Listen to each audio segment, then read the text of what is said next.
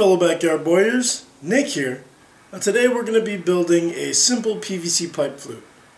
Now this one is going to be similar to a Native American style flute. It's going to have two chambers and a fipple. So I'm starting off with a piece of SDR21 pipe. This is a thin wall pipe and this is similar to the types of pipes that are commonly found in sprinkler systems and I believe it's similar in thickness to a lot of the pipes found in other countries outside of the US. The first thing I'm going to do is cut a 16 inch piece of this pipe and I'm also going to cut a 2 inch piece that we'll save for later.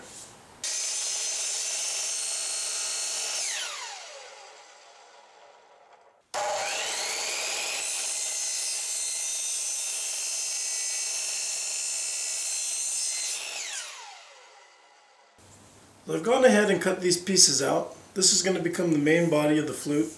So here you can see I cut a slit in this piece of pipe before I cut it to length.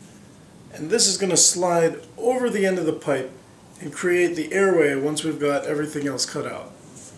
So next I'm going to use some medium grit sandpaper to remove all the letters and smooth out the surface of the pipe because this one has some scratches and some imperfections. So I'm going to do that to both of these pieces.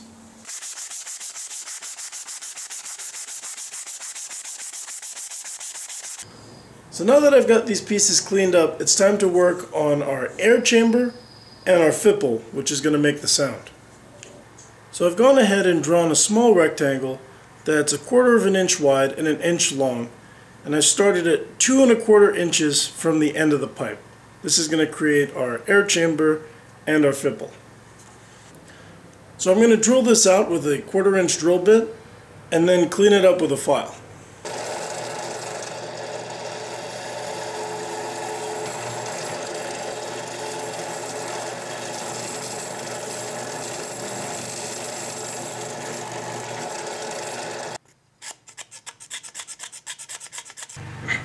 So now that I've cleaned out the rectangle, I'm going to go with the edge of my file and create the fipple. That's what's going to create the sound. I'm going to file on both sides because the airway is going to be right in the middle. We're going to cap this off and that's going to create our airway here. So I want to bring this down just a little bit and also file from the inside. Alright, here it is. You can see I've sharpened it on both sides. I'm going to use some sandpaper, clean off the inside here, and then we'll start working on our plug. So the next thing I do is cut a half an inch thick plug. Now you can make this out of a cork or a piece of dowel. In this case this is a piece of hardwood dowel and it's 7 eighths of an inch in diameter. So what that means is that it'll fit easily inside of this pipe. Since the dowel is smaller than the inside of the pipe, I'm using a piece of electrical tape, about one to two layers, to add some body so that it'll fit nicely. I also like doing this because it helps keep the wood from expanding and contracting, which can happen when the wood gets wet when you're playing.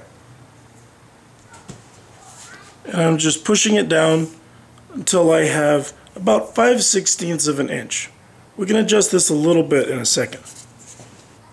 So now I take this split 2 inch piece we cut and I slide it over the main pipe. And then I bring it down so that the edge of it lines up with the edge of the plug. Well, let's see how it sounds.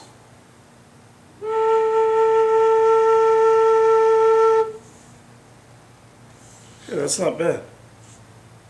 I'm going to push it down just a little bit so it's a little less airy of a sound.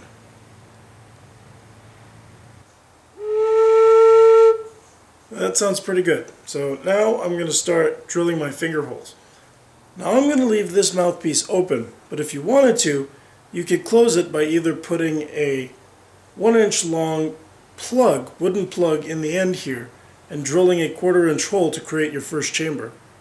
Or you can take a PVC plumbing cap, drill a quarter inch hole in the end of that, and place that on the end for a mouthpiece.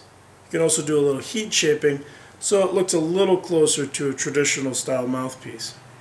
Or you can leave it open-ended like this, and there's nothing wrong with this. So I'm not tuning this flute to any particular key or scale.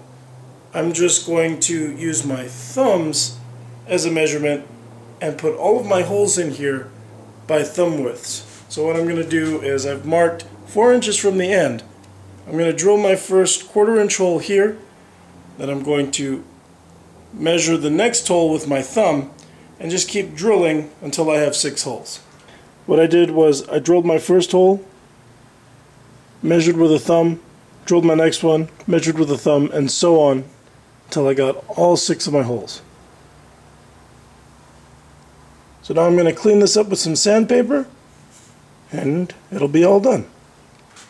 So here's the flute all finished up. I'm going to leave this one like this, but you could put almost any type of finish you want. You could paint it, you could decorate it, pretty much any finish that'll work on a PVC bow or other PVC project will work on these. I hope you enjoyed building this flute along with me today, and if you have any suggestions for other flute videos you'd like to see me do, please let me know in the comments below. If you like this video, be sure to check my channel out for more, and I've also written several books on different topics, including one on making PVC pipe flutes, and you can check out the links to those in the description below. So as always, thanks for watching, and I'll see you guys next time. Bye.